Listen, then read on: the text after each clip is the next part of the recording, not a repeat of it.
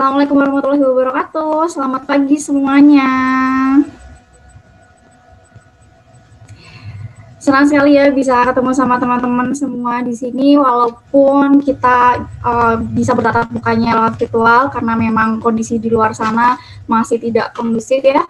Uh, namun semoga kita tetap bisa menjaga kesehatan. Pesan juga untuk teman-teman di sana selalu jaga stamina ya. Jangan sampai imunitasnya itu turun ya. Selamat datang di webinar kita kali ini uh, bersama Quantum Edukasi The Paradigma dengan tema How to Become a Creative Content Creator.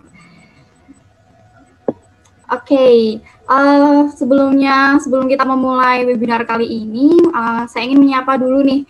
Ada Bapak Direktur dari KEP, ada Bapak Eko. Cahyono Cia, halo Bapak Eko. Halo, ya selamat pagi Mbak Anita, luar biasa, wah cantik sekali hari ini. Eh, terima kasih Pak, bagaimana Pak kabarnya? Baik, baik, tetap sehat, wah salam sehat semua ya teman-teman ya. Alhamdulillah selalu jaga kesehatan ya Pak ya di sana, selalu jaga stamina ya Pak ya. Pastikan kegiatannya sangat padat sekali ya Pak ya.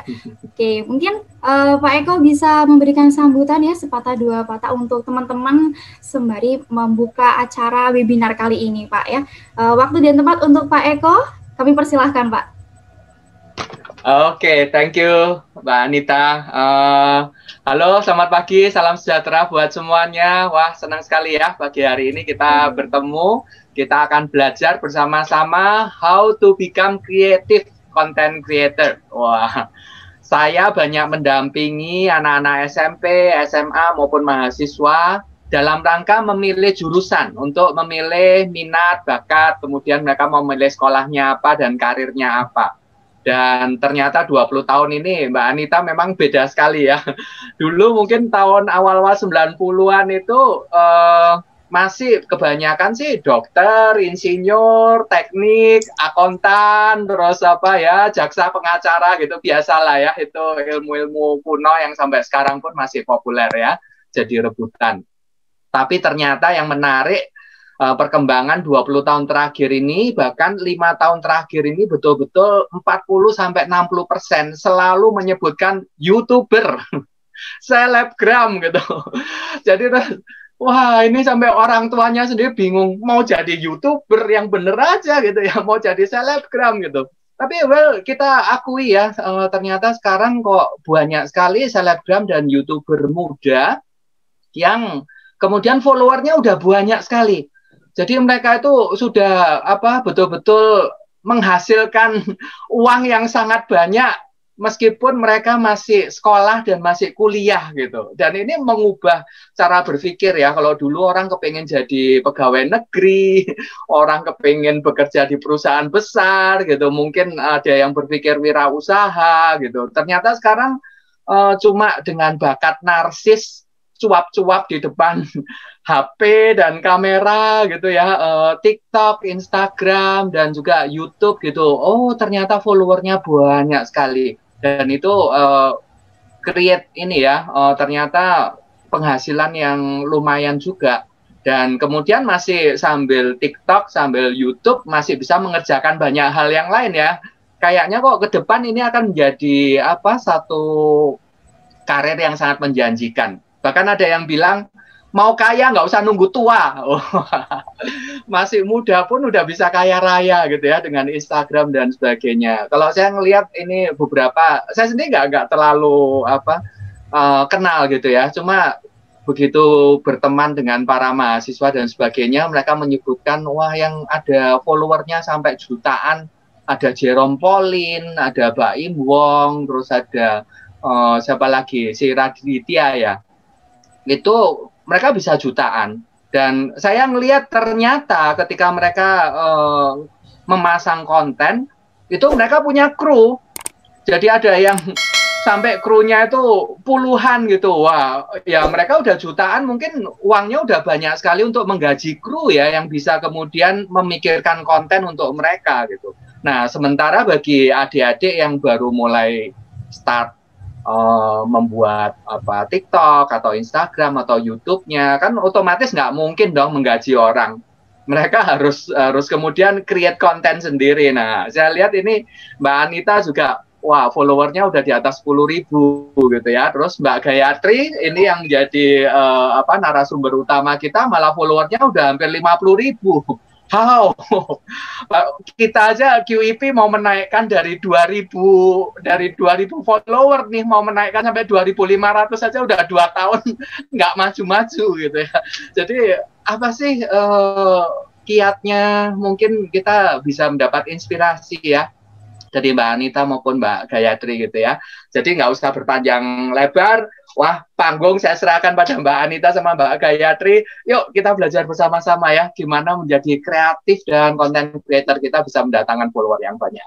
Good, good, good. Oke, okay, silakan Mbak Anita. Thank you. Oke, okay, terima kasih Pak Eko sudah memberikan sambutan dan uh, semangat ya untuk para peserta sehingga mereka mau belajar ya nantinya. Mungkin mereka ingin menjadi seorang content creator yang seperti Kak Gaya ya, udah sukses sekarang ini.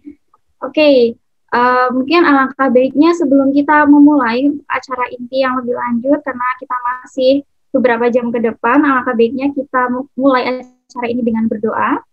Kita berdoa masing-masing ya menurut kepercayaan dan agama kita masing-masing. Mari kita tundukkan kepala sejenak.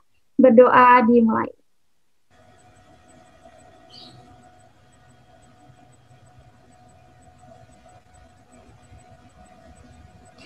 Baik, berdoa selesai. Uh, baik, teman-teman, uh, langsung saja kita masuk ke tata cara pelaksanaan webinar kali ini.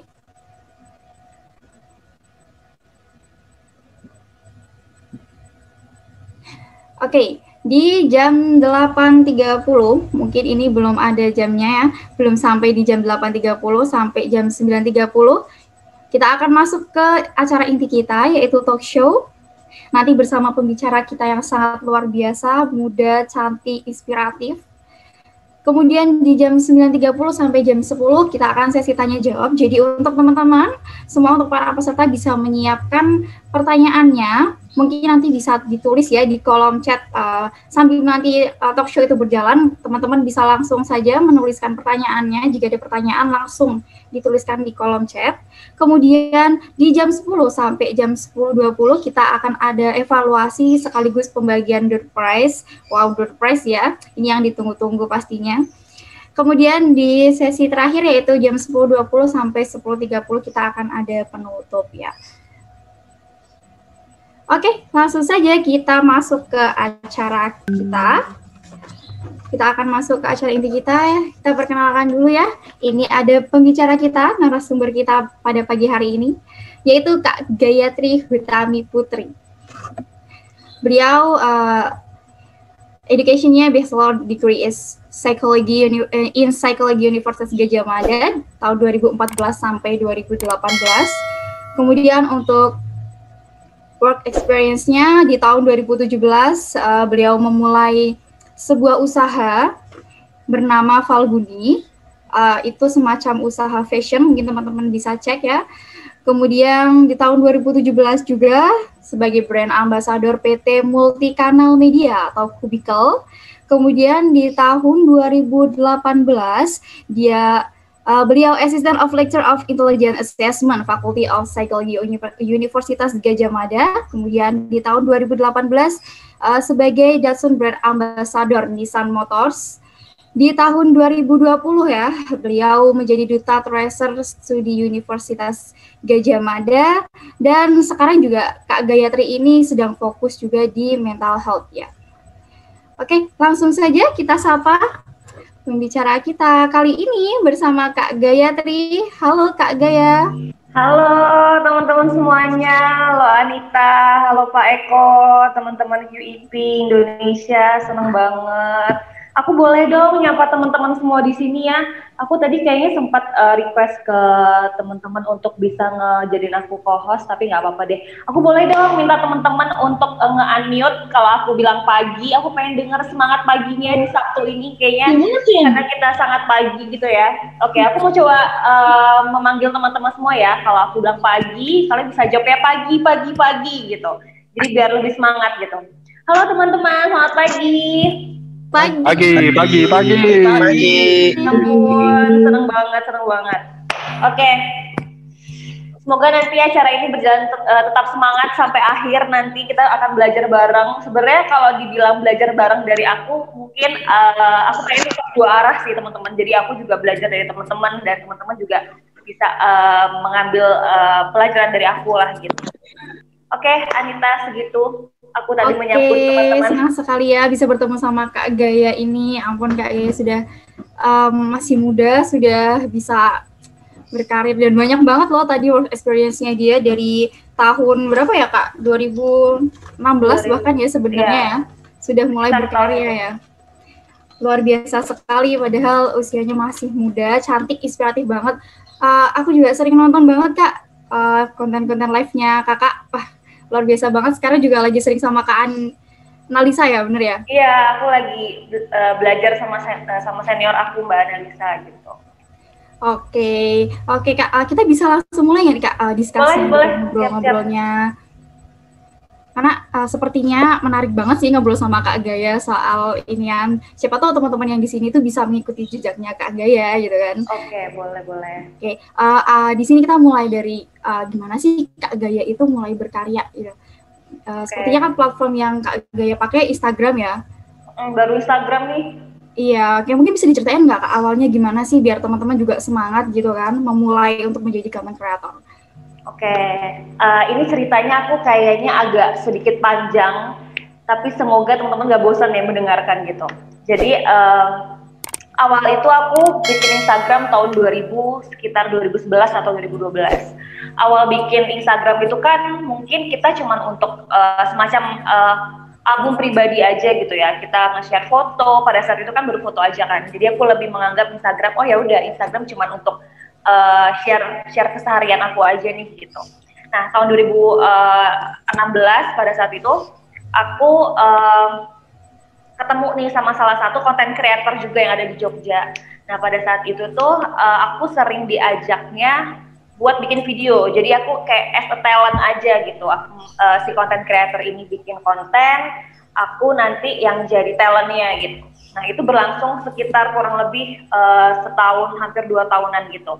Nah secara eh, ternyata aku tuh menikmati proses itu gitu. Nah karena aku memang basicnya bukan anak yang eh, suka ngomong depan kamera, suka acting itu aku kayak masih big no banget lah kalau misalnya depan kamera tuh masih yang kayak aduh malu-malu takut-takut gitu terus kalau misalnya acting tuh harus semua orang pergi dulu baru aku acting gitu kan saking kayak nggak terlalu terbiasa depan kamera gitu. Nah tapi dari tahun 2016 sampai tahun 2018 eh, awal kalau nggak salah itu aku kan masih semacam eh, jadi observer aja gitu. Tapi di situ aku ngerasa oh kayaknya sangat eh, menarik nih kalau misalnya aku mencoba untuk lebih belajar lagi di dunia ini gitu.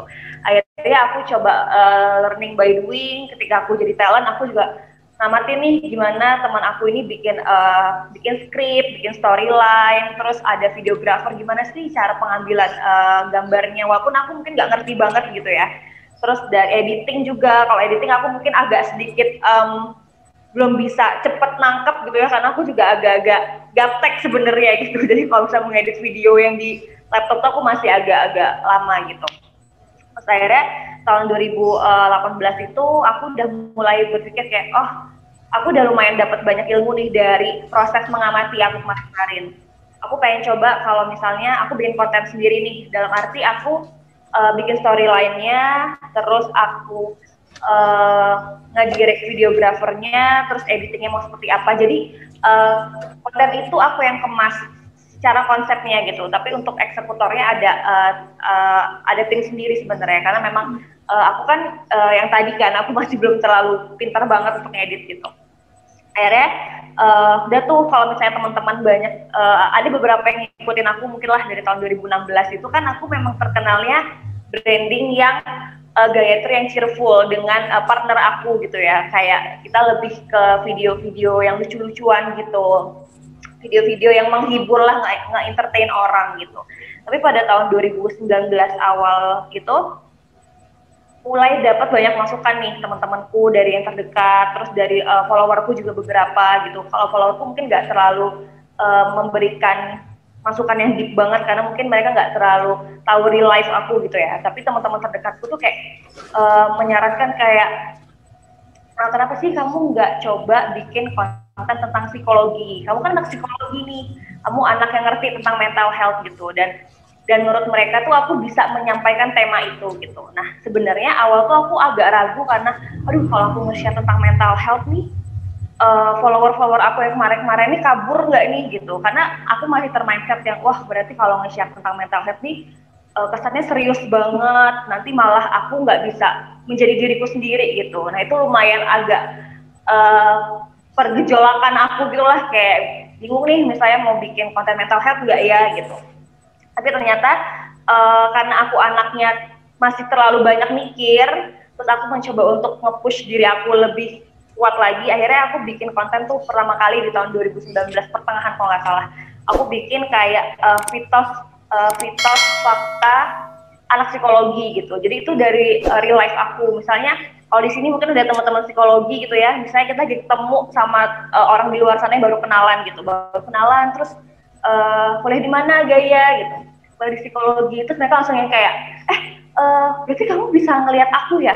Uh, aku ini kepribadiannya gimana? Itu padahal baru ketemu berapa menit doang gitu tiba-tiba udah gimana kepribadian aku? Gimana? Bla gitu. Kayak aku ngerasa kayak ah ya ampun jadi anak psikologi bebannya juga lumayan gitu ya. Terus akhirnya yaudah deh nah itu lumayan banyak banget yang uh, respon positif kan saya aku mikir um, yaudah deh aku bikin coba pelan-pelan untuk uh, konten mental health. Uh, tapi aku mem, uh, membuat konten tentang mental health bukan berarti konten sebelumnya itu aku ngerasa nggak baik tapi aku punya rasa yang oh seorang Gayatri ini nggak cuma bisa nge-entertain aja loh tapi juga dia bisa memberikan edukasi. Nah yang awal-awalnya aku ragu takut nggak ada uh, aku ngerasa kayak fear of judgment lah uh, takut akan penolakan juga aku coba untuk uh, berani lagi. Terus aku juga mikir uh, kan cuma pikiran aku aja yang kalau misalnya share mental health tuh serius kenapa nggak tetap memasukkan uh, si Gayatri yang cheerful ini ke konten mental health gitu. Nah akhirnya dari tahun 2019 itu aku uh, lumayan sedikit uh, lumayan sedikit sih jadi kayak awalku untuk lebih menyeriuskan uh, nge-share tentang mental health gitu sampai sekarang Nah, seperti itu Anita. Oke, gitu. Menarik banget ya Kak ceritanya. Kayaknya uh, butuh banyak pertimbangan ya ternyata untuk bisa sampai ke detik ini ya. Ternyata ya, benar. nggak instan ya kita bisa detik instan wah udah jadi sekarang gitu ternyata hmm. jalanannya panjang banget ya ampun terus uh, biasanya nih kayak agak ini kan bikin konten ya sekarang sekarang lebih fokus bikin konten tentang mungkin mental health atau yang lainnya biasanya uh, yang Kak Gaya lakukan sebelum Kak Gaya itu bikin konten tuh apa gitu? Oke, okay, um, ini sebel, uh, sebelumnya kita awal bikin konten, eksekusi bikin kontennya, atau memang awal niat, oh aku pengen membranding diri aku di sosmed ini dengan cara membuat konten. Nah yang mana? Uh, kayaknya aku lebih ngebahas yang uh, ini dulu kali ya, buat yang niat awal, oh iya, benar. Oke okay, aku pengen bikin konten nih di hmm. sosmed aku gitu. Mungkin bisa uh, dilanjutkan dengan yang tadi ya kak ya, jadi. Mm -hmm. Ya. Uh. Nah pas awal-awal sih memang uh, ketika masa transisi aku dari Gayatri yang suka nge-share konten yang nge-entertain gitu ke konten yang edukasi kan pasti aku akan ada fase-fase perubahan-perubahan gitu kan. Nah aku tuh juga gak yang asal uh, oh aku harus bikin konten mental health uh, deh. Nah itu pun gak yang secepat itu kayak tadi banyak pertimbangan itu. Nah pertimbangan lainnya adalah aku ngerasa kayak mau konten mental health yang seperti apa nih yang follower aku nih suka gitu. Yang follower aku tuh langsung nyantol di kepalanya dia. Nah, yang pertama saran aku adalah do a market research. Itu penting banget karena apa? Karena uh, ketika kita bisa tahu kita itu mau ngetargetin siapa sih gitu. Kalau kalau misalnya kita udah tahu, kita itu akan bisa lebih mengembangkan uh, ide kita, kemampuan kita itu berdasarkan si uh, target marketing kita ini, uh, target pasar kita lah istilahnya gitu ya. Dan kita jadi tahu uh, kalau aku sih buat tahu konten mental health seperti apa sih yang orang lain tuh suka. Aku biasanya paling simple deh tanya ke teman-temanku yang non psikologi. Karena kalau psikologi kan dia pasti menganggap semua tema kan pasti uh, penting dibahas kan. Tapi kalau misalnya aku tanya teman-teman sekitarku kayak e, kamu kalau lihat konten tentang mental health gitu sukanya kalau yang gimana sih gitu kamu kalau ngeliat konten mental health uh, at least kamu kamu bisa like dulu, syukur-syukur bisa kamu save karena itu kayak pasti penting banget kan gitu.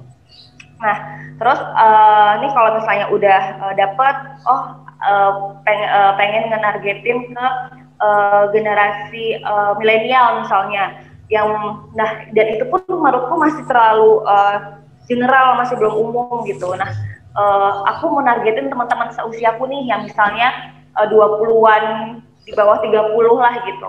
Terus mereka tuh uh, suka gimana ya oh ternyata pada saat ini tuh lagi rame lagi pengen bahas tentang uh, toxic relationship misalnya. Oh mereka tuh suka dibahas tentang sesuatu yang tuh yang dekat banget sama sehariannya mereka gitu. Nah baru dari situ ketika udah tahu nih uh, kalian uh, target audiensnya mau ke siapa itu justru lebih memudahkan kita untuk ngebikin kontennya gitu nah dari situ barulah nanti akan ada next penjelasan aku gimana sih seorang Gayatri bikin konten dari awal sampai akhir gitu. Nah jadi menurut yang pertama tadi pokoknya harus do a market research, harus tahu dulu nih target yang mau kamu um, target yang mau kamu uh, tuju tuh ke siapa gitu dan pahamin banget bener-bener mereka karena dari mereka lah kita akhirnya nanti banyak belajar gitu.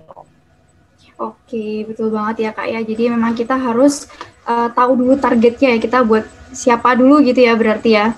Baru kita tentukan uh, konten kita mau kayak gimana sih konsepnya gitu ya kak betul ya? Benar benar. Iya betul banget.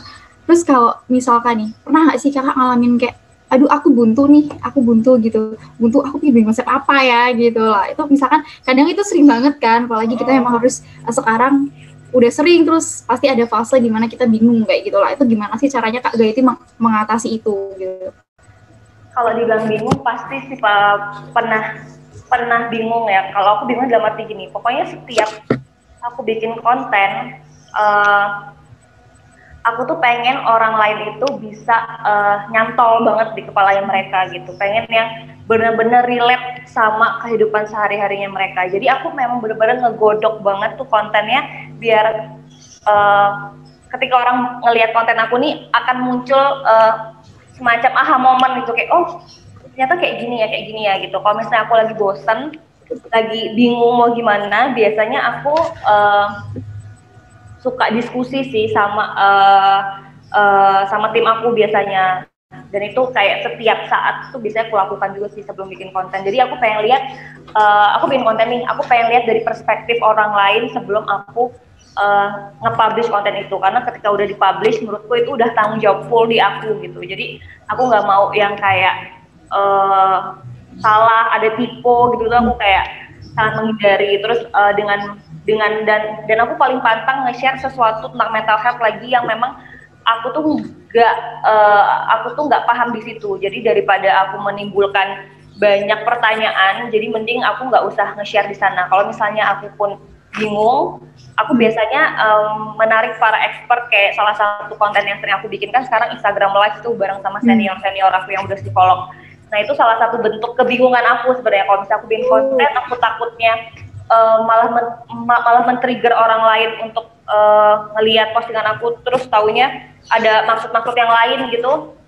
Nah, aku ngajak uh, expert buat isi gitu. Nah kalau misalnya lagi uh, jenuh juga itu pasti kalau misalnya jenuh menurutku jangan terlalu dipaksain sih. Memang kita kan juga manusia. Kalau misalnya manusia ngelakuin sesuatu uh, rutinitas yang terus menerus sama aja kan pasti juga bosan gitu jadi uh, yang menurut aku take a break dulu nanti abis itu baru eh, cari-cari uh, referensi lagi brainstorming lagi dan lebih peka terhadap apa nih yang lagi tren sekarang gitu nah itu bisa menjadi uh, cara kita untuk nge-refresh ide lagi sih kayak gitu Oke, betul ya Kak ya, karena memang pasti ada jenuhnya ya. Terus kalau uh, ngobrolin soal ngomongin soal kejenuhan ya pasti kalau kak Gaya sendiri biasanya untuk update itu ada targetnya nggak kak? Misal sebulan sekali atau seminggu sekali update, seminggu dua kali update gitu, ada nggak kak? Um, kalau aku ada sih, cuman sekarang sebenarnya lagi nggak terlalu uh, intens. Sebenarnya aku sekarang tuh lagi agak di fase-fase bosanku tadi yang aku bilang gitu. Cuman aku kayak lagi ngerasa buat ambil waktu dulu deh. Aku pengen ada sesuatu yang uh, aku tuh nge-share tapi aku memang benar-benar benar-benar mood pengen share itu gitu. Nah kalau misalnya ditanya uh, masalah uh, jadwal, masalah target itu pasti ada sih kayak uh, aku tuh dulu jadi uh, feed Instagram itu kan uh, satu baris tuh ada tiga uh, konten gitu ya. Dulu tuh aku sukanya jadi uh, kanan kiri foto tengah itu video semua hmm. gitu. Jadi uh, aku ngepush diri aku secara eksternal untuk oh hari ini aku harus ngepost foto nih aku harus ngepost uh, video. Jadi ada uh, dorongan di situ gitu. Terus uh, jadi ketika kita uh, mau bikin uh, jadwal itu jadi memang uh, udah sesuai sama yang uh, pengen kita uh, pengen kita dapetin lah gitu. Kalau misalnya kita misalnya uh, aku pengen orang lain itu menilai aku sebagai mental health enthusiast tapi kontenku nggak pernah bahas tentang mental health. Kan jadi kayak gimana aku bisa disebut mental health enthusiast gitu kan. Kalau hmm. yang konten yang aku bahas tentang mental health aja nggak ada gitu. Gitu sih. Jadi uh, memang jadwal itu penting juga terus uh, uh, jam-jamnya jam-jamnya tuh juga sangat ngaruh menurut aku hmm. gitu. Kalau uh, kalau aku pribadi sih aku lebih suka ngepost sekitar jam 5 sampai jam setengah enam sore ketika orang baru uh, hmm. pulang kerja, baru selesai aktivitas, biasanya uh, istirahat sebentar, itu biasanya pakai gadget kan. Itu di jam-jamnya orang lagi buka sosmed banyak tuh aku ngerasanya di situ kalau Instagram aku gitu. Dan ini pun berdasarkan risetku juga gitu. Jadi nggak yang semata-mata aku ah aku nge-share jam setengah enam ah jam lima ah gitu. Enggak jadi aku udah pernah nge-share jam uh, pagi siang sore malam dan ternyata uh, yang paling banyak tuh di uh, jam-jam mau maghrib gitulah gitu. Jadi kita sepenting itu untuk tahu juga uh, kondisi audiens kita gitu. Iya bener banget ya kak. Karena memang ada kita juga harus apa ya namanya tahu dulu kan jam-jamnya orang-orang. Itu tuh memang kapan sih mereka buka Instagram gitu kan? Jadi mereka lebih cepet gitu ya nyari kontennya kita. Kadang kan memang konten kita misal terselip lah sama apa gitu. Jadi ya malah tertimbun dan nggak kelihatan kadang gitu kan ya kak ya. Berarti ini poin penting juga nih buat teman-teman. Kalau bisa kalian mau share itu biasanya jam sore ya. Itu memang jam-jam orang-orang istirahat pulang kerja pasti mereka mager-mageran dulu lah biasanya itu pasti bakal buka sosial media mereka sih. Ambil dicek-cek juga sih karena kan setiap uh, setiap Instagram masing-masing kita kan pasti beda-beda. Oh kan? iya betul betul juga sih ya betul. Hmm. Jadi tetap menyesuaikan juga dengan yes. followersnya kita gitu ya kak ya. Oke. Okay. Terus kalau kakak kan sekarang juga fokus ke live ya sing. Tuh pernah nggak sih kakak punya target biar yang nonton tuh banyak gitu? Terus udah tercapai belum nggak? Uh, untuk uh, target yang aku setting untuk Instagram Live sih sebenarnya aku pengen gini. Jadi awal aku Instagram Live itu itu kan butuh uh, butuh keberanian banget karena aku orangnya yang mungkin masih malu lah ngomong depan orang lain gitu-gitu. Aku lebih ngetargetin ke diri aku sendiri dulu sih gitu. Karena kayaknya uh, capek ya kalau hidup di ekspektasi orang lain sih ya. Anak senja banget. Jadi kayak aku mencoba untuk mengekspektasi itu ke diri aku sendiri nih. Misalnya uh, Instagram Live uh, pertama uh, aku udah bisa uh, uh, aku udah bisa uh, nanya tanpa uh, tanpa skrip pertanyaan. Misalnya no, kayak hmm. misalnya uh, Instagram pertama nih aku masih full baca uh, pertanyaannya gitu. Terus aku mikir oh berarti Instagram kedua aku pengen aku tuh bisa ngobrol tanpa aku punya skrip pertanyaan. Jadi ngalir aja gitu. Jadi nggak um, perlu ada yang terlalu tek tek tek banget gitu terus kalau udah oh besok besok aku uh, kan udah uh, sering sama psikolog nih aku pengen sama yang non psikolog kali ya gitu. Aku sempat sih sekali uh, sama namanya Mas Ari Mas Ari itu adalah seorang eksekutif direkturnya dari Tanto Yahya Public Speaking School gitu. Dan aku lumah, dan dan aku ngerasa kayak uh, senang banget aku bisa ngobrol sama orang-orang yang punya ilmunya banyak gitu. Dan aku ngetargetin diri aku kayak semakin semakin sering Instagram live uh, coba cari eh, orang-orang uh, tuh yang yang hebat hebat hebat hebat gitu. Jadi aku merasa uh, target diri aku untuk dapat banyak pelajaran itu juga terpenuhi gitu. Kalau misalnya ditanya ek, ekspektasi keluar gitu ya misalnya uh, pengen banyak ditonton gitu gitu kalau aku sih malahan uh, lebih nyaman sih kalau aku ngetargetinnya ke diri aku sendiri. Tapi kan beda-beda ya. Ya siapa sih yang nggak mau konten kita dilihat sama orang lain gitu. Tapi mungkin aku lebih uh, ngetargetin kayak gini kali ya. Mungkin ketika dulu uh, Instagram live nih aku share, misalnya kayak uh, semi, uh, seminggu sebelumnya tuh aku cuma nge-share uh, seminggu tuh cuma dua kali tiga kali. Aku coba nge-share kayak setiap hari. Terus sebelum Instagram live, coba aku ngasih semacam kayak bridging ke temanya dulu nih. Misalnya aku uh, hari ini mau bahas tentang toxic parenting misalnya. Nah, jadi nggak yang tiba-tiba aku upload konten toxic parenting, gaya tri with psikolog ini bla bla Aku itu sekarang sangat menghindari karena menurutku sekarang uh, uh, di Instagram kalau ngeliat poster tuh kadang-kadang suka langsung kayak males baca terus jadi kayak ya udah gitu. Tapi kalau di awal tuh aku cerita dulu kayak uh, kayak kemarin nih aku membahas tentang uh, toxic relationship ya toxic parenting lah gitu. Aku cerita kayak uh, aku beberapa kali uh, dapat banyak uh, curhatan dari teman-teman yang di luar sana. Ternyata mereka nggak bisa memaksimalkan uh, potensinya mereka ternyata masih ada nih faktor eksternal yang ber, yang yang berpengaruh ke mereka misalnya di lingkungan uh, keluarga salah satunya gitu. Jadi aku mencoba mengajak followerku tuh untuk berdiskusi dua arah. Nah nanti aku di akhir aku biasanya bikin question box gitu. Kayak kalau misalnya aku bikin Instagram live nih pada pengen ngebahas tentang apa sih walaupun pada akhirnya aku tahu ini tuh akan aku arahkan ke toxic parenting gitu. Tapi aku pengen lihat nih uh, teman-teman follower aku tuh bisa dapat insight nggak sih dari yang aku posting gitu. Nah itu juga sih salah satu uh, target aku kalau dari luar gitu. Nah baru nanti ketika udah banyak yang masuk beberapa uh, jawaban gitu baru mungkin be beberapa jam setelahnya atau sehari setelahnya itu aku baru posting uh, posternya gitu. Jadi kayak aku bilangnya oh uh, ternyata banyak nih yang pengen membahas tentang gimana sih kalau berada di lingkungan keluarga yang toksik bla bla bla hmm. gitu. Besok aku mau uh, ngebahas ini nih sama psikolog ini memang expert di bidang uh, parenting gitu-gitu. Nah itu lumayan bisa memberikan uh, engagement antara aku dan follower aku gitu. Jadi kalau aku nangkep kayak kita mending discuss dulu ya sama followers kita. Mesti kayak gini enak gak sih? Gini enak gak sih? Kalau kita bahas Benar. ini gimana sih? Gitu ya kak ya. Jadi malah teman-teman juga tertarik gitu ya? Benar-benar daripada langsung gitu ya kan?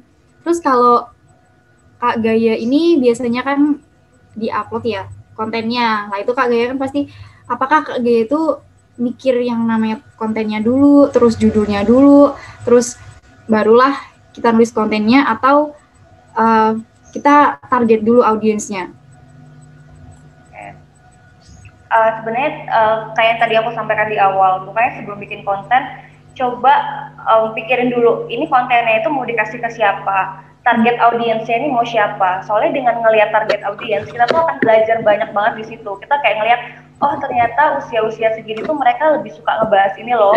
Nah baru kita kita tuangkan di konten kita. Oh ternyata sekarang uh, umur-umur sekarang ini lagi suka ngebahas finansial misalnya. Oh yaudah kita bahas ini gitu.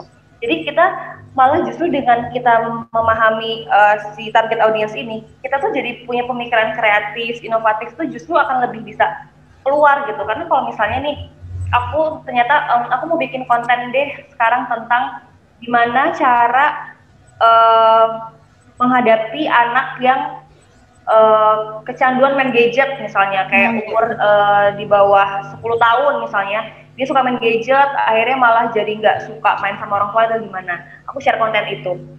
Tapi ternyata aku lihat follower aku tuh kebanyakan yang umur 20-an ke atas yang mungkin pada saat itu mereka uh, belum menikah mungkin belum punya anak gitu. Jadi konten aku tuh cuma lewat aja hmm. karena memang nggak sesuai sama target uh, target audiens aku gitu. Jadi uh, ketika aku lihat aku posting apa terus aku lihat oh ternyata kok yang nari play itu kebanyakan usia usia aku nih misalnya 20 uh, 25 sekian lah gitu yang emang suka ngebahas tentang uh, personal life gitu gitu oh ya udah berarti dari sana personal life tuh bisa ngebahas apa aja sih? Ya bisa aja kayak misalnya mereka gimana uh, hubungan mereka sama pasangan sama sama, uh, sama atasan mungkin di kantor atau gimana gitu. Nah, jadi kalau misalnya udah tahu uh, targetnya itu malah justru lebih gampang banget kita untuk mengemasnya itu sih. Menurut aku kayak gitu. Yang pertama adalah pahamin banget target audiensnya dulu gitu. Karena kalau misalnya aku nggak pahami target audiens, aku bisa gampang aja aku akan nge-share tentang mental health itu dengan uh, semua usia gitu kayak misalnya aku uh, karena sebenarnya kan aku pengen uh, kan aku lebih suka uh, ke anak gitu ya.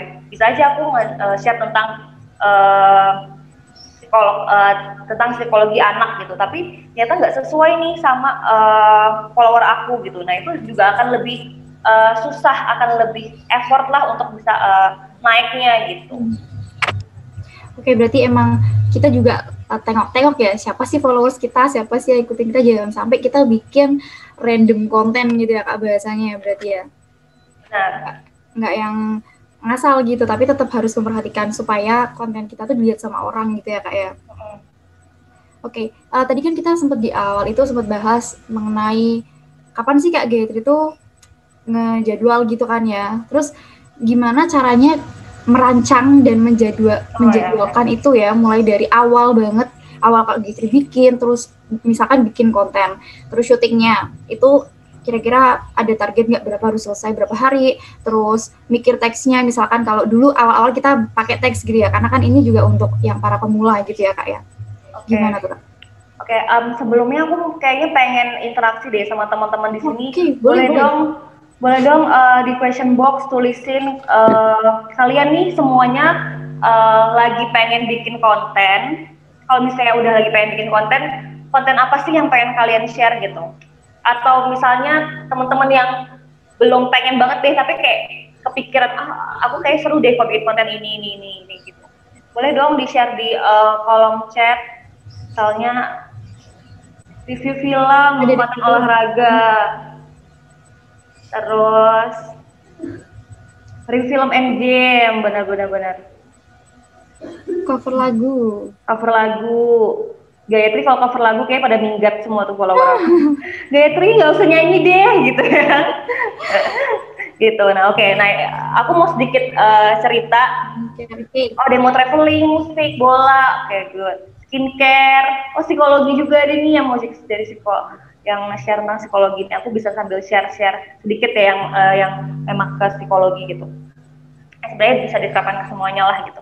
Nah jadi gimana sih proses yang Gayatri lakukan gitu ya dari awal banget sampai akhirnya dia terupload lah di Instagram aku gitu. Nah ini ceritanya uh, lumayan menarik tergantung sih menarik atau enggaknya ya gitu. Jadi uh, karena kan aku anak psikologi nih, aku tuh anak psikologi kan paling su uh, paling suka banget uh, ngamatin orang gitu, melihat situasi itu lebih uh, lebih serius gitu. Jadi kalau misalnya kita masuk ke kafe, teman-teman aku ngamatin buku menu, aku ngamatin orang-orang yang di sana gitu. Jadi beda ya. Nah jadi kalau misalnya aku udah ke satu uh, satu uh, tempat lah gitu atau satu situasi itu aku emang lebih suka mengamati interaksi antar orangnya gitu. Nah dari situ tuh aku kebanyakan dapat um, ide-idenya gitu.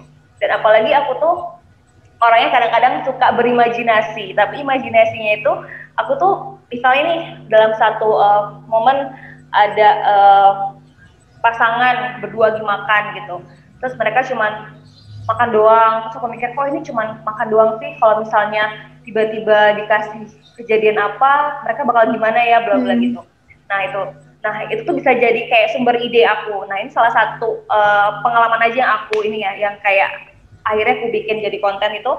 Jadi uh, uh, kita anak psikologi kan paling PR banget untuk menghilangkan yang namanya self diagnose gitu ya. Banyak tuh teman-teman di luar sana mungkin dari timnya Pak Eko juga pernah ngerasain gitu ya banyak orang di luar sana uh, yang masih self diagnose gitu Pak gitu. Misalnya nih curhat aduh tadi pagi aku lagi bad mood. Siang-siang kok aku bisa ketawa-tawa ya. Jangan-jangan aku bipolar nih gitu. Nah itu banyak banget tuh pak yang kayak uh, eh, self diagnose tuh aku tuh tiga hari ini lagi males banget keluar rumah. Aku tuh lagi pengen sendiri aja apa aku depresi ya? Nah langsung kayak banyak anggapan-anggapan apa jangan-jangan aku ini ya jangan-jangan aku ini ya. Pernah ada satu kejadian yang uh, aku bilang ini kayak uh, tamparan buat aku sehingga aku harus bikin konten gitu.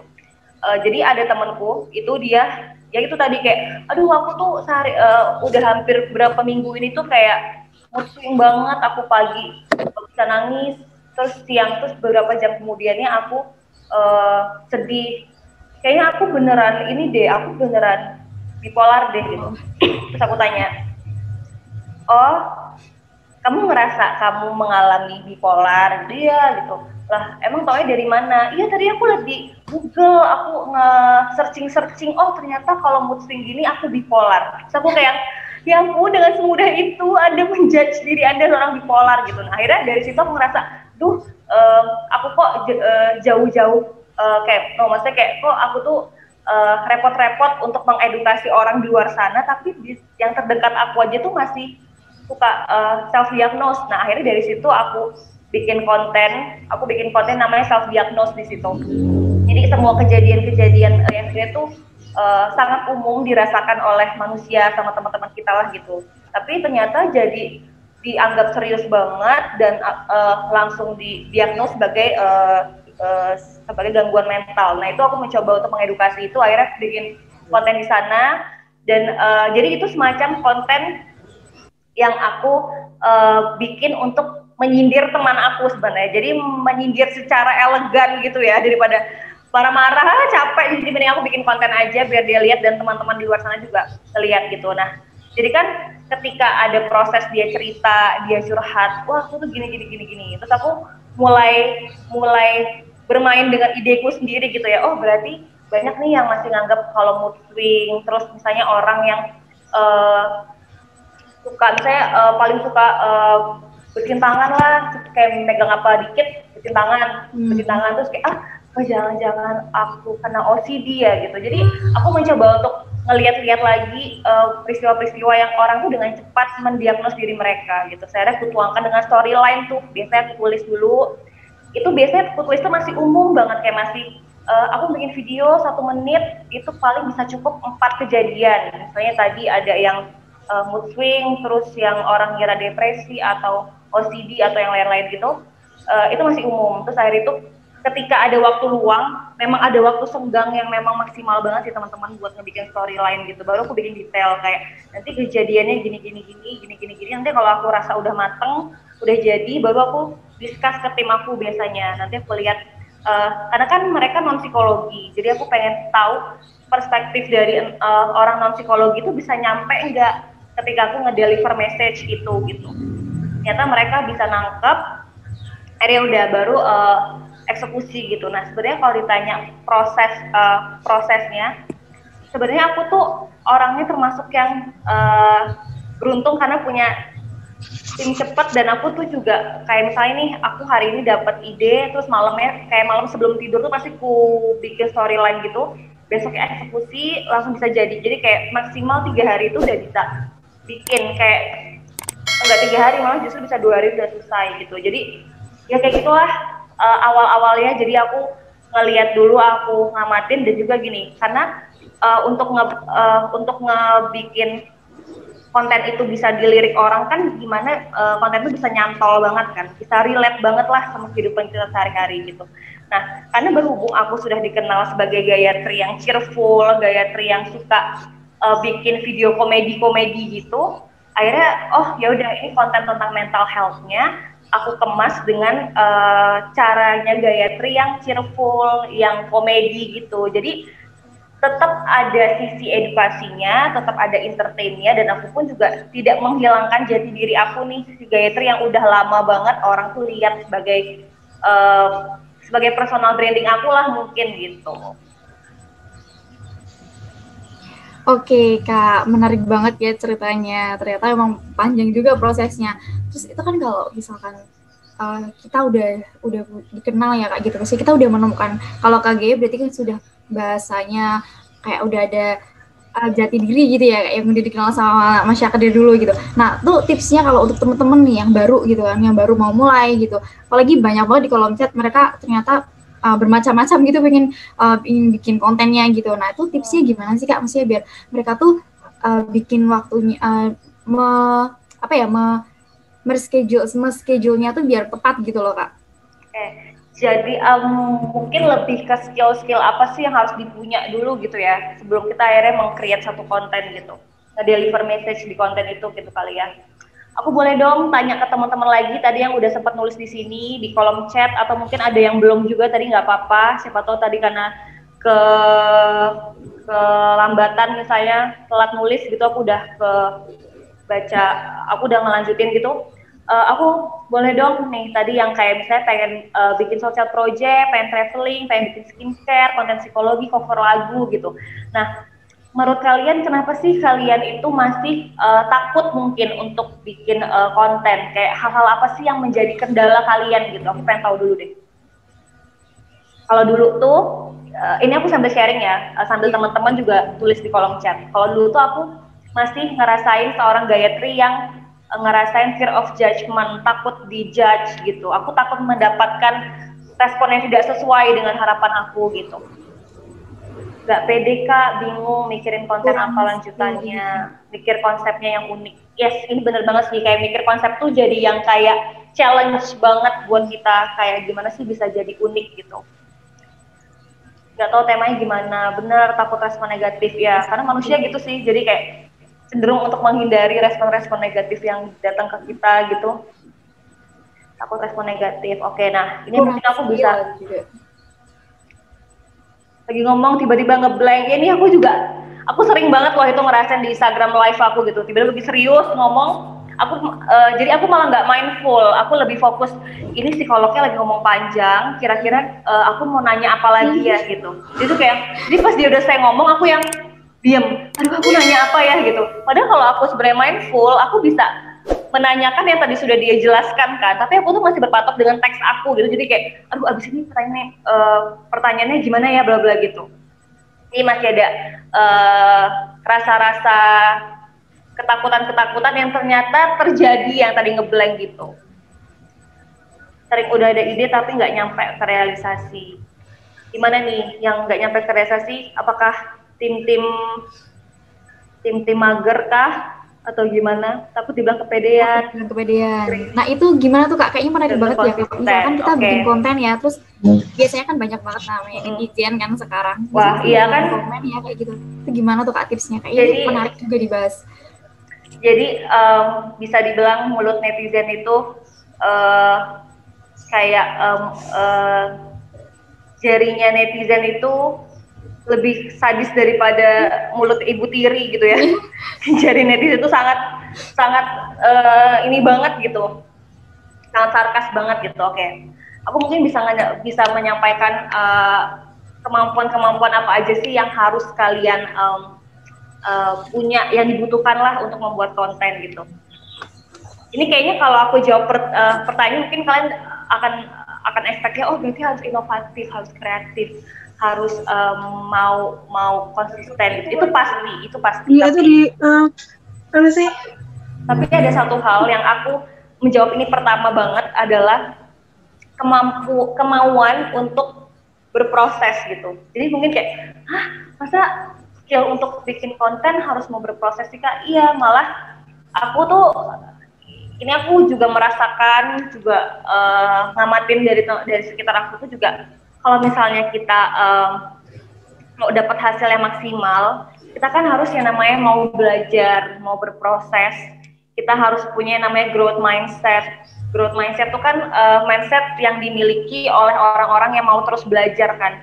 Orang-orang yang ngerasa bahwa diri dia tuh uh, kurang, diri dia tuh uh, perlu ditambah lagi kemampuannya supaya lebih berkualitas, supaya punya value yang lebih lagi gitu. Nah, soalnya ketika kalian nggak mau berproses, karena kan untuk kayak namanya ngebikin konten di sosmed kan nggak yang tiba-tiba bikin konten langsung naik followernya, itu kan ekspektasi kita gitu. Akan di uh, add to story di banyak orang, akan di tag banyak orang terus akan banyak komen bener banget kak setuju banget kak. Biasanya tuh yang bikin kayak seneng banget gitu ya. Hmm, iya betul.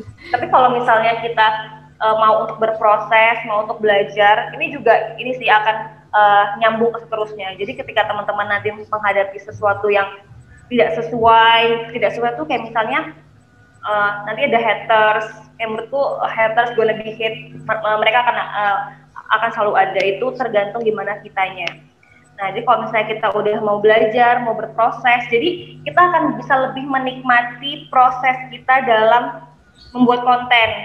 Kita punya tujuan, oh aku tuh pengen mengedukasi orang di luar sana.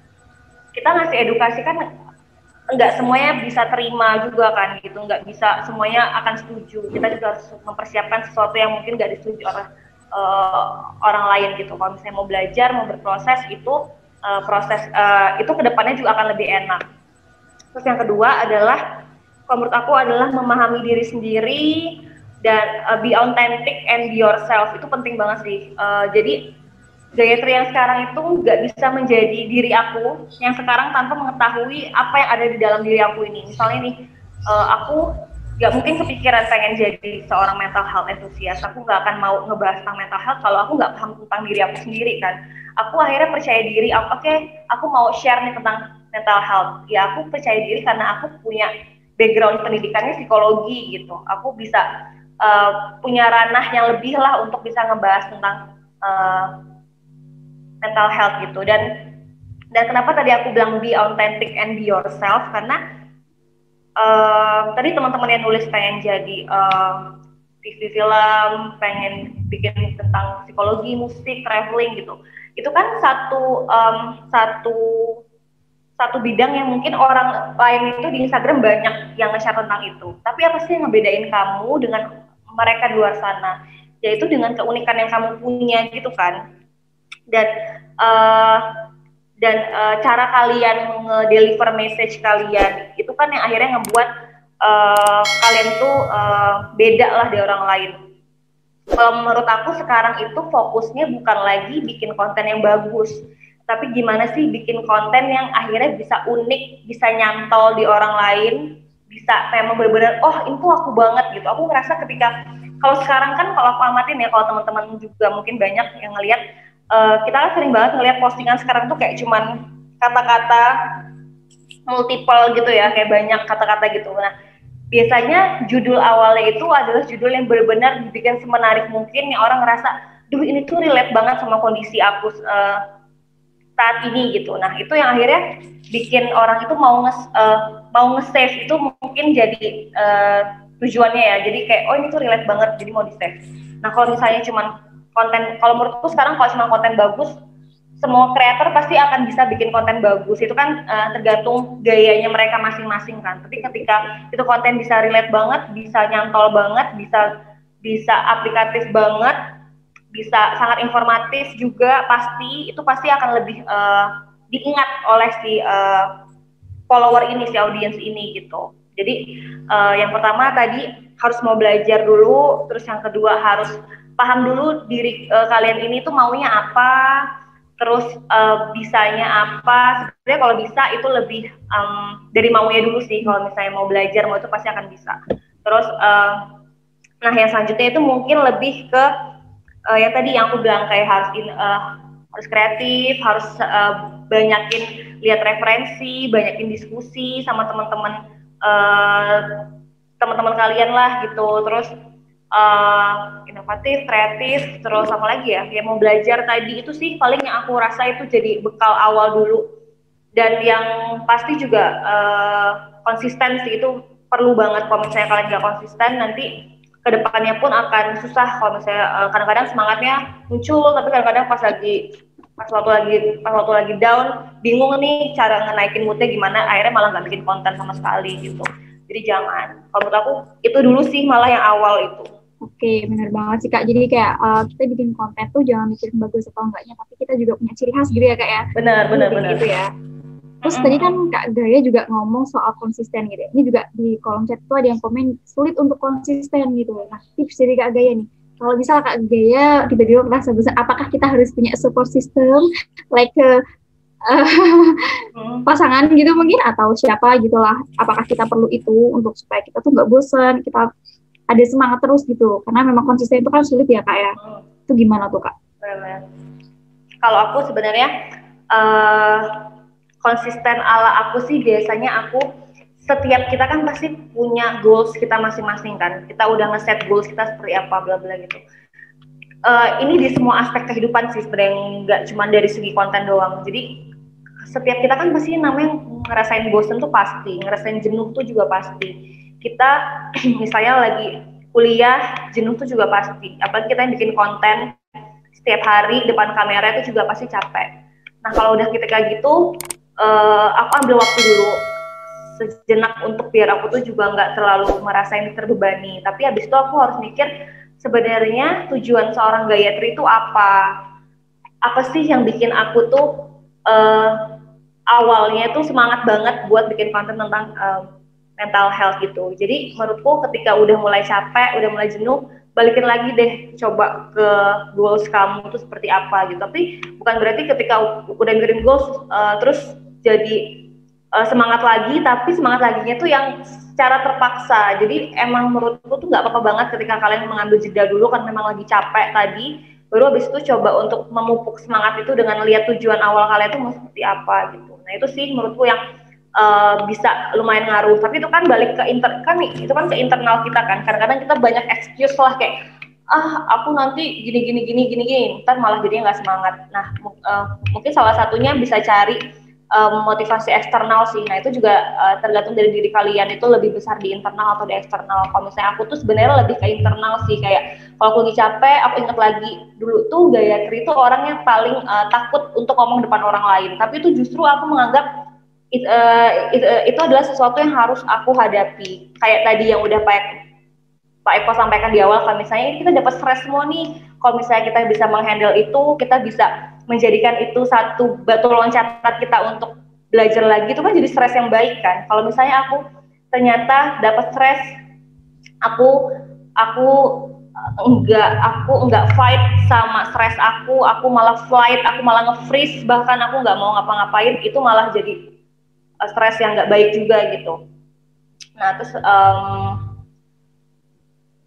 uh, terus ya paling kayak gitu aja sih menurut aku saya aku agak-agak ini nih. Oke, okay, gitu ya kak ya. Jadi memang pasti yang namanya apa kita jenuh dan jadi kita boleh berhenti sejenak mm. boleh ya oh iya sama tadi tapi setelah itu aku tadi agak-agak oke okay.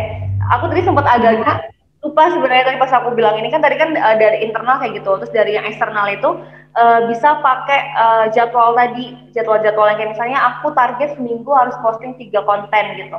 Nah itu kan pasti um, kalian tuh akan mencoba untuk memenuhi itu kan. Nah, cuma kalau menurutku yang paling yang paling aku ngaruh di aku ya, misalnya kalian udah ngeset nih kayak tadi di Instagram aku uh, kanan kiri itu aku pengen ngesetnya adalah foto, terus yang tengah itu adalah uh, konten video atau konten aku yang tentang psikologi, baik itu Instagram live atau uh, cuman kata-kata, tapi kata-kata aku belum uh, ngerealisasiin sih, cuma kayak baru video dan, dan Instagram live. Nah, kalau misalnya kita uh, lagi malas-malesan gitu kan tampilan Instagram kita tuh jadi nggak bagus gitu loh. Aku malah jadi sering kayak, aduh, aduh akhir uh, kayaknya aku udah harus jadwal yang ngepost video nih. Jadi mau nggak mau akhirnya aku nggak bikin iya. video. Terus aku akhirnya memaksa diriku untuk semangat lagi untuk yang kayak uh, jangan terlalu lama-lama di kemageran kamu gitu gitu. Hmm. Jadi lebih pahamin diri dulu juga, lebih pahamin ke diri dulu juga sih. Kayak kalian tuh lebih kuat di internal atau di eksternal karena kan masing-masing juga beda-beda ya gitu. Iya bener banget sih. Karena aku juga ngerasa sendiri kalau misal mau posting tapi sebenarnya kita lagi mager banget gitu kan tapi hmm. kayak tuntutan gitu ya jadi Benar. mau nggak mau diposting tapi pernah nggak kak ada pengaruhnya gitu kak misal Gayatri lagi malas posting nih sebenarnya terus uh, mau nggak mau posting tapi ada pengaruhnya nggak entah itu dari viewersnya atau dari apanya gitu ada pengaruh nggak kak? Kalau misalnya uh, kayak mau nggak mau posting itu biasanya aku sangat menghindari yang konten pribadi karena itu hmm. uh, kalau konten pribadi itu kan aku bisa bertanggung jawab di situ kan konten pribadi itu aku bisa bisa interaksi juga di sana. Kalau misalnya aku lagi nggak mood itu aku kerasa banget interaksiku tuh akan eh, nggak uh, maksimal lah gitu. Jadi aku mending kayak oh yaudahlah uh, nanti aja gitu. Tapi kalau misalnya ada posting-posting uh, yang kerjaan misalnya gitu yang memang kita nggak bisa uh, ngatur waktunya yang nggak bisa ngatur moodnya enaknya pas kapan itu yang jadi challenge banget sih buat aku sampai sekarang sebenarnya untuk kayak nunjukin uh, postingan aku yang ini tuh sebenarnya juga hampir sama loh kayak postinganku yang pribadi. Nah itu masih suka uh, susah untuk membangun um, persepsi itu gitu. Jadi kalau dibilang ngaruhnya uh, ya ya uh, pasti ngaruh soalnya biasanya kalau aku lagi nggak mood itu aku lebih jarang banget upload uh, konten tiba-tiba upload konten yang kerjaan itu kayak langsung yang uh, aku challenge-nya itu aku akan ngebuat caption yang mungkin bisa lebih interaktif lagi gitu. Jadi orang nggak ngeliat itu sebagai satu uh, selling banget gitu. Oke, jadi memang mood itu juga perlu ya kak berarti?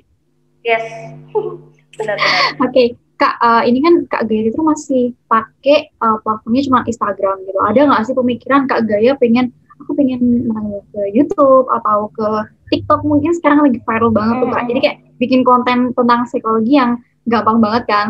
Biasanya kan sekarang ada tuh yang tipe-tipe kayak gitu tuh. Nah itu Kak Gaya sempat ada pemikiran ingin nggak merambah ke situ? Sempat banget kalau YouTube itu sebenarnya aku um, sempat udah punya sebenarnya sama uh, partner aku gitulah. Cuman memang ada uh, satu dua kendala akhirnya kita nggak bisa uh, lanjut Terus kalau TikTok tuh sebenarnya tuh jadi um, hal yang banyak banget teman-temanku bilang kayak, um, eh dong bikin TikTok guys, bla bla gitu. Nah aku tuh awalnya masih yang kayak, ah kenapa nggak bisa joget kayak masih pemikiran gaya tri yang TikTok tuh cuma joget doang, padahal tuh enggak gitu kan kayak nyampur gitu. Saya uh, kemarin tuh sudah berani untuk menginstal uh, TikTok, terus aku nge-share di Instagram dan tuh ternyata lumayan uh, dapat banyak respon positif yang kayak, uh, kak mending share di TikTok juga aja lebih rame bla bla gitu. Nah itu aku masih masih menjadi seorang gayatri yang masih terlalu memikirkan ini harus seperti apa ya bla bla gitu. Tapi udah membuat konten, uh, udah ngebuat akun TikToknya sih, jadi harus lebih memantapkan diri untuk ngeposting pertama konten aku gitu di TikTok.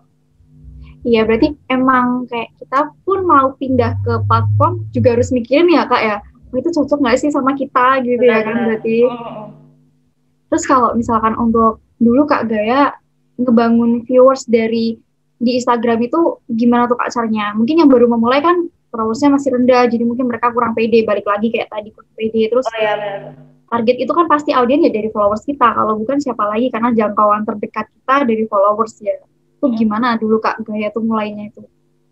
Oke, okay, um, sebenarnya kalau pas waktu dulu kan uh, aku mungkin uh, effortless lah mungkin dulu aku kan karena aku uh, jadi talent di sana gitu. Tapi ketika aku mencoba untuk akhirnya aku nge-create uh, Gayatri sebagai mental health enthusiast itu akhirnya jadi menjadi menjadi branding pertama aku lah yang aku bikin sendiri. Karena sebelumnya kan orang nge-branding aku tuh sebagai uh, content creator yang memang lebih nge-share sama pasangan yang buat seru-seruan aja gitu. Nah sebenarnya kalau misalnya yang pertama itu buat ngebangun mental health itu kan pasti susah banget. Nah tapi uh, uh, sampai sekarang pun sebenarnya aku masih mempelajari flow-nya follower aku juga sih lebih suka yang kayak gimana gitu. Nah tapi kalau menurut aku kalau buat yang paling uh, cepat kalau bukan cepat juga sih mungkin lebih uh, mudah untuk nyantol di uh, follower itu biasanya sih aku uh, yang pertama tadi uh, pakai bahasa yang memang relate banget sama uh, sehari-hari. Dan dan kamu harus bikin uh, apa ya kayak thumbnailnya lah judul depannya tuh kenapa sih orang tuh harus ngebuka video kamu gitu. Jadi bikin kata-kata semenarik mungkin lah gitu. Di public speaking aja beberapa detik awal kan sangat dipertimbangkan dipertimbangkan kan untuk menarik perhatian. Nah itu juga sama aja kayak di konten gitu. Terus kalau misalnya ada yang tanya, kak aku tuh udah sering banget bikin konten nih, aku setiap hari upload. Kok tapi viewernya cuma segitu-gitu aja, like-nya cuma segitu-gitu aja. Terus kok kayaknya nggak dapat feedback sesuai harapan aku gitu. Nah menurut aku coba cek dulu konten yang kamu bikin itu memang sudah um, sesuai sama target uh, target audiens kamu atau enggak bisa jadi ternyata target audiens kamu itu adalah uh, usia usia uh, di di seusia kamu tapi mungkin uh, konten kamu nggak sesuai. Terus bilang kak tapi walaupun memang follower aku tuh seumuran aku tapi itu sebenarnya target aku tuh buat yang uh, teman-teman aku yang sudah menikah misalnya gitu. Padahal uh, follower dia mungkin belum banyak yang menikah gitu. Nah itu adalah uh, tadi challenge-nya adalah kamu harus ngebikin gimana sih konten tuh hari jadinya lebih menarik bikin judul yang orang akan ngeklik uh, bikin konten yang orang akan nge-save, nge-forward ke teman-temannya gitu. Jadi itulah kenapa pentingnya kita jadi uh, bisa tahu uh, target audiens itu biar kita tuh bisa nge-set konten kita tuh seperti apa gitu, mau bagus seperti apa gitu.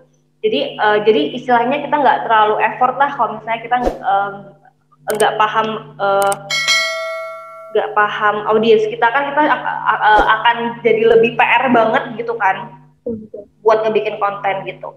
Nah terus uh, atau bisa jadi juga sebenarnya malah yang kamu perlukan kalau misalnya udah lumayan nih uh, dapat awareness dari orang lain gitu ya kamu bisa aja minta uh, teman-temanmu untuk eh aku baru bikin konten nih tentang um, mental health misalnya gitu aku buka kayak sesi sesi curhat mungkin atau mau bikin sesi apa gitu uh, boleh dong di X to story kalian gitu biar aku dapat uh, awareness dari teman-teman yang lain. Nah terus juga yang paling penting adalah menurutku adalah uh, collab sih. Mungkin tapi orang-orang mikirnya kayak wah berarti itu kayak pansos dong kak. Panjat sosial. Berarti kita cuma mau sama orang-orang yang followernya banyak uh, hmm. aja. Gitu. Enggak. Malahan kayak misalnya uh, kalau menurut aku tuh sebenarnya kalau collab uh, ya memang lebih enak kita dengan follower yang udah lebih banyak daripada kita. Tapi lebih enak lagi kalau misalnya kita tuh bisa uh, sama orang yang value-nya tuh sama kayak kita gitu. Misalnya kayak aku aku tentang uh, aku suka nih bahas tentang mental health gitu.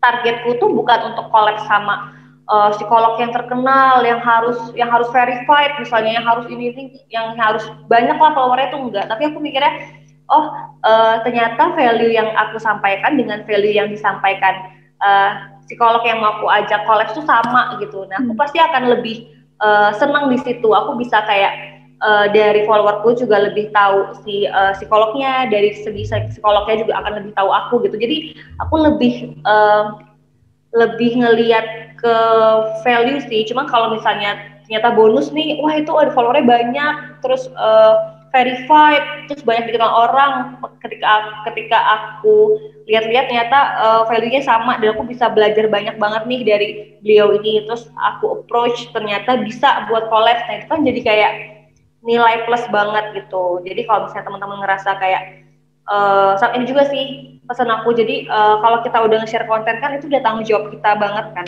Jadi kalau bisa emang harus digodok banget, harus dimatengin dulu. Karena kalau misalnya enggak, uh, ntar kalian ketika dapat hujatan atau dapat sesuatu yang nggak sesuai itu, ntar kalian malah jadi drop sendiri gitu. Kalau misalnya aku boleh kasih satu quotes yang sering banget aku uh, dengar dari um, dari Mbak Analisa yang senior aku psikologi itu beliau selalu bilang kayak we cannot control the wind kita nggak bisa uh, mengatur arah angin di luar sana mau gimana. Tapi kita tuh bisa mengatur ke mana arah kapal kita ini sampai ke tujuan kita gitu. Jadi kita nggak akan bisa mau mau uh, ngatur uh, arah angin seperti apa yang membuat kita jatuh, membuat kita terpuruk atau kayak gimana tuh nggak bisa kita kontrol. Tapi yang bisa kita kontrol adalah diri kita sendiri, gimana respon kita sendiri. Kalau misalnya kita mau menganggap itu sebagai satu hal yang mendaunkan kita, ya itu akan menjadi satu hal yang akhirnya ngedownin kita gitu. Tapi kalau kita ngelihat satu ancaman ini sebagai bukan ancaman tapi satu satu challenge lah, satu ujian buat kita yang kalau kita bisa lewatin kita akan menjadi pribadi lebih baik lagi, itu justru malah lebih uh, bagus lah gitu. Jadi um, mungkin banyak-banyak uh, orang luar sana yang termasuk aku gitu ya kayak wah aku uh, takut aku di uh, dibilangin kepedean lah kayak tadi di, ada yang di kolom chat bilang gitu. Ada yang aku takut dibilangin sok tahu lah, aku dibilangin uh, sok ngartis bisa gitu. Uh, ya itu hak mereka gitu. Mereka punya uh, kebebasan untuk ber, uh, untuk berpendapat tapi selama kita melakukan hal yang tidak merugikan. Nah ini juga sih ada ada tiga hal yang aku uh, pikirkan dulu sebelum aku bikin konten. Gak cuma bikin konten sih sebenarnya kayak misalnya kalau aku memberikan respon atas sesuatu hal di sosmed aku gitu ya pasti aku mikirin yang pertama itu penting nggak untuk aku share gitu? Itu yang pertama. Yang kedua itu bermanfaat nggak bagi orang lain kalau aku share Terus yang ketiga, itu menyakiti hati orang lain nggak kalau misalnya aku share. Jadi itu semacam uh, benteng aku gitu sih, filternya aku lah ketika aku misalnya mau bikin konten atau mau bikin uh, mau respon lah atas satu uh, isu misalnya lagi ada gitu kan. Menurutku kalau misalnya udah mencakup tiga hal itu tuh, ya insya Allah akan aman gitu. Kalau misalnya pun ada, ya udah itu kan hak mereka lagi. Selama kita bisa memberikan konten yang yang yang bermanfaat, yang penting dan tidak menyakiti orang lain menurutku itu oke okay aja gitu. Kalau misalnya terlalu sibuk mengurusi orang lain, uh, kalian nggak akan fokus ke diri kalian sendiri gitu. Ya, benar banget sih ya kak. Jadi kalau misalkan kita mau mulai, uh, misal dari followersnya belum banyak, kita bisa collab ya kak tadi ya. Solusinya di situ ya. Mm -hmm. Terus kalau misalkan orang lain mau mikirnya kita pansos atau apa, ya itu hak mereka juga gitu ya kan. Kita nggak bisa menyalahkan mereka untuk berpikiran seperti itu. Dan poin yang penting uh, ketika kita mau share sesuatu tuh penting nggak itu ya? Penting nggak untuk di share terus bermanfaat atau enggak atau merugikan untuk orang lain atau enggak gitu ya kak ya betul ya? Oke kak menarik banget dari tadi cerita kak G itu ya. Sampai uh, berimajinasi yang banyak banget kak sebenarnya di sini. Mungkin teman-teman yang lain juga berimajinasi kayaknya aku mau seperti kak G ya aku harus gimana gitu kan? Aku harus mulai kayak gini. Nah mungkin skill apa sih yang dibutuhkan sama seorang uh, kreator gitu ya untuk buat konten tuh harus punya skill tertentu atau enggak terus apakah kita bisa belajar atau kita harus ikut seminar terus kayak gini tentang konten kreator atau kita harus kuliah dulu atau kursus atau gimana gitu kak? Atau mengalir aja gitu? Uh, itu tadi sih yang udah aku sampaikan di awal tadi yang penting tuh mau belajar terus uh, kalau udah mau belajar mau berproses tuh pasti akan jalannya akan lebih enak. Terus kalian tahu diri kalian sendiri tuh mau kayak gimana. Diri kalian tuh mau uh, mau ya ke arah mana bisanya apa. Kalau bisa bisa apa kan tadi aku juga udah bilang uh, hmm. bisa itu kalau udah ada mau itu pasti bisa. Terus um, baru deh harus know, harus bisa kreatif, inovatif, harus sering banyak lihat refer uh, referensi di luar sana, harus discuss juga sama teman-teman di luar sana, ngelihat perspektif dari orang lain. Karena uh, karena kan kita ya karena kontennya kita yang bikin kita kan pasti akan selalu oh ini konten gue tuh keren banget gitu. Tapi kan nggak tahu kalau dari orang lain seperti apa gitu. Kalau menurut aku kayak gitu sih. Oke okay, jadi uh, misal kita ikut seminar-seminar kayak gini itu juga perlu nggak kak?